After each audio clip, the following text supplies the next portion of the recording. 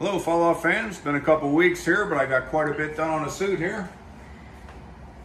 Got all the uh, backpack stuff pretty much finished up. Got all this uh, buttoned up pretty well, ready for the finished work and small details. So this is basically a T60 backpack now. Over here, I've been working on the pauldrons. I've them a little bit fleshed out. Basically just made a form, heated the foam, pressed it on there. Cools down, holds the shape. So we'll see. That's uh, it's kind of a first run. We'll see what it looks like.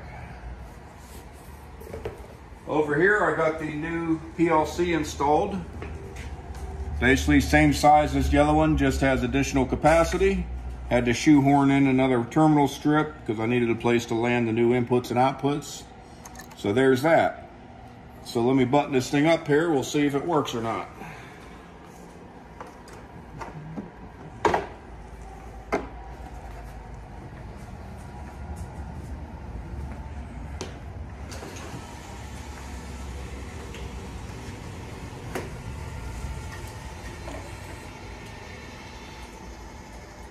All right, this will be my first uh, test drive here. Let's see what happens.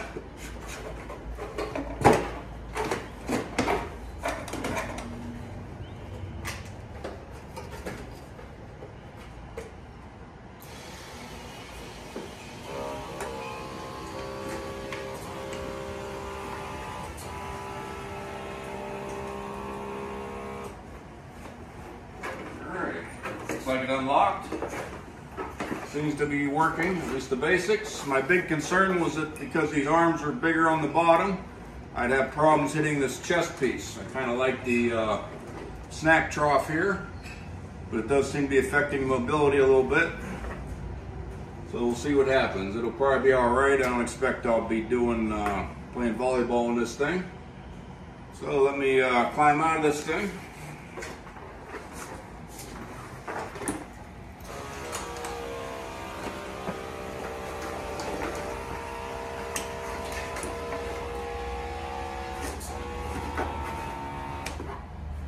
All right.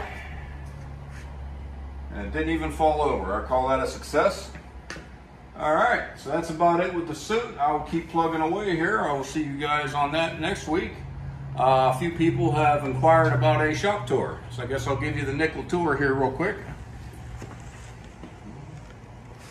I'll just, basically, it's a big circle. I'll just start at the corner and work my way around.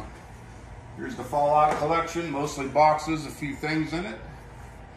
Uh, bandsaw, sander, big bandsaw. This is actually, believe it or not, a functional machine shop. I just don't have a whole lot of work, so I entertain myself other ways. A few posters from uh, a couple different vacations. Over here's uh, basically a marble table, layout equipment. When you're scribing lines on metal, it's good to have a good accurate thing to do that, so that's what that's for. Over here's a milling machine. Digital readouts makes it nice to know where you're making your cuts. Small lathe over here.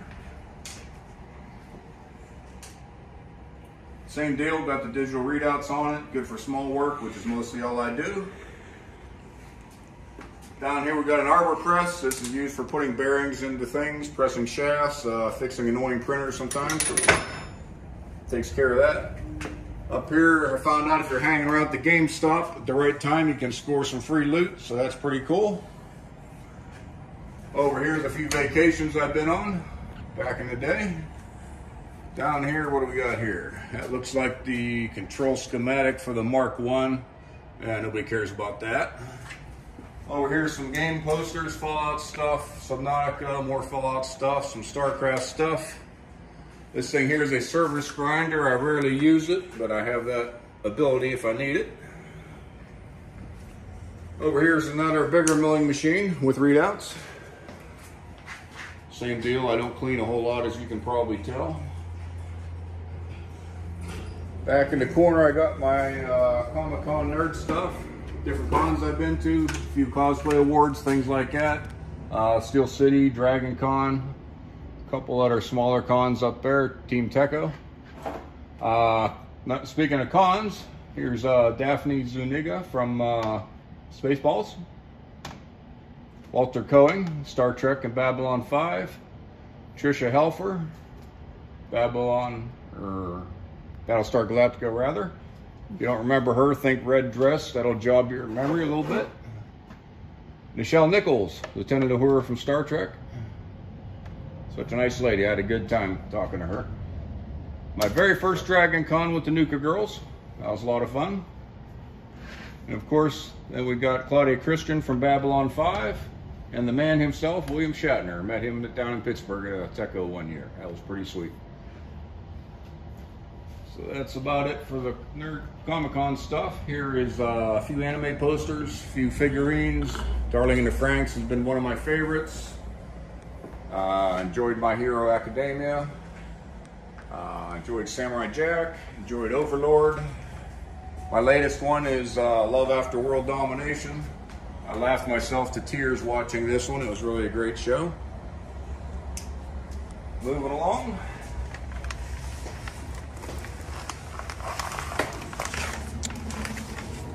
I had the privilege of getting on the Nimitz for a Tiger Cruise one year. So I started getting a little bit of Navy merch. You see that over there.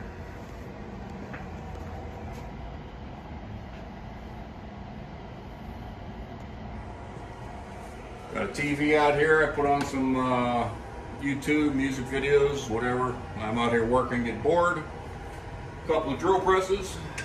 Those are kind of self-explanatory. I decided to build myself a model Starship. Then I decided that maybe the booster would be nice. And then I kept going, decided to build the launch stand in the entire uh, launch tower.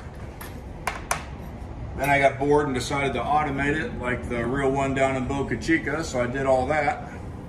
But then I swiped some parts off it, so it's not working at the moment. Here's a couple pics from uh, Starship launches.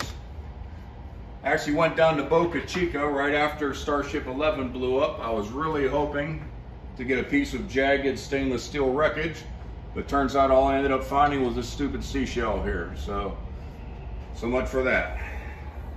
Speaking of the beach, I was in Jacksonville recently and had a little idea with some seashells.